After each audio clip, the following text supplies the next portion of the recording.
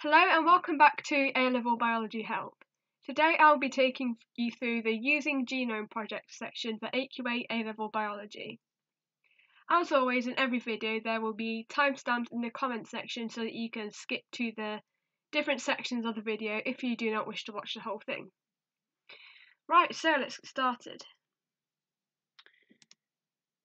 Wrong button. So firstly I'm going to just recap on what a genome is. A genome is the full set of genes in each cell, and every single one of your cells contains a complete genome. The genome can be sequenced. This means that the base sequence of the genome can be figured out. There are many sequencing projects that have sought out to find out the sequence of genomes in various organisms. So sequencing projects read the genomes of a variety of organisms.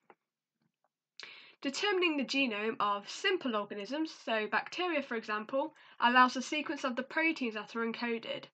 This is because in simple organisms such as bacteria, introns aren't included in their DNA, so they can directly figure out the amino acid sequence and therefore the protein produced from the genome itself.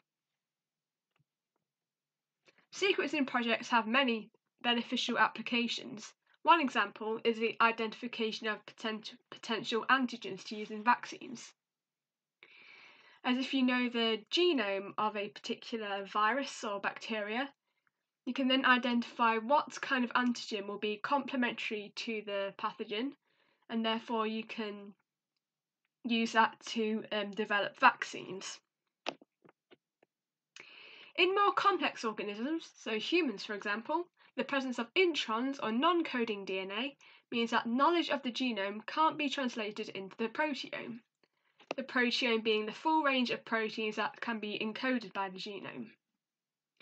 So from complex organisms that contain introns, the um, properties of the proteome can't be directly read from the genome as introns are present, which don't code for amino acids.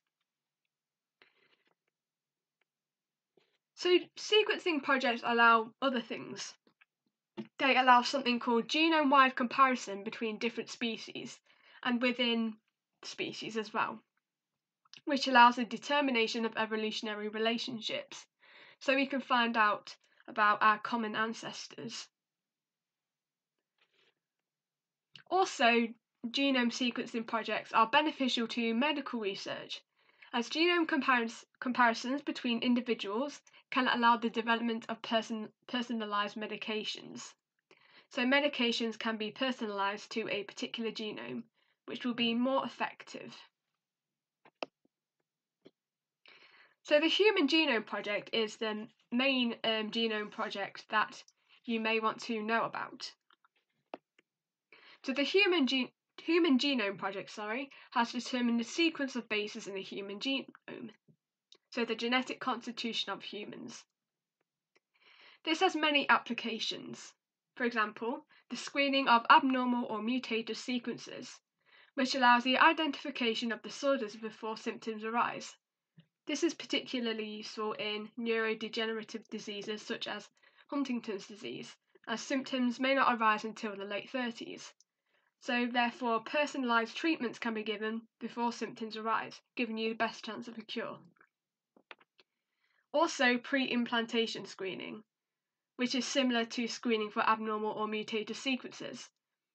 As, for example, if you find out, found out that an embryo contained an abnormal allele, which meant that the baby was going to be born with a life-threatening disease, you could choose not to have that embryo implanted.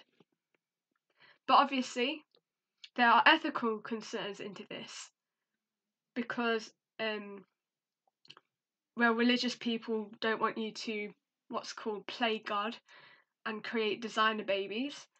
And also, misuse and discrimination of genetic information or data is possible because people may not want to give their genetic data to the public as it invades privacy.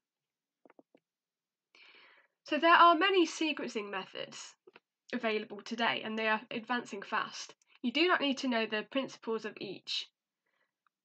However, As I've said, sequencing methods are constantly developing and becoming faster and more efficient to use. And they have become more computer based instead of lab based, so computers work more quickly to identify potential errors in genomes, so therefore allowing earlier creation of personalised medicines. In the Human Genome Project, the human genome took 15 years to sequence, so a very, very long time. But nowadays it can take as little as 26 hours, so it's much, much more quicker. So that is how genome projects are used. So that is it for this video. Thank you very much for watching. There aren't any exam questions today as the um, exam questions relating to this topic cross over a bit too much with recombinant DNA technology, which I'll talk about in the next video. So thank you very much for watching. Please leave a comment if you have any questions, and I'll see you in my next video.